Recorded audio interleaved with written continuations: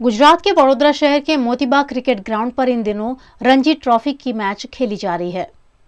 वडोदरा के Motibagh cricket ground में खेली जा रही रणजी ट्रॉफी में बड़ोड़ा क्रिकेट एसोसिएशन और उत्तर प्रदेश क्रिकेट एसोसिएशन की टीमों के बीच मैच खेला जा रहा है।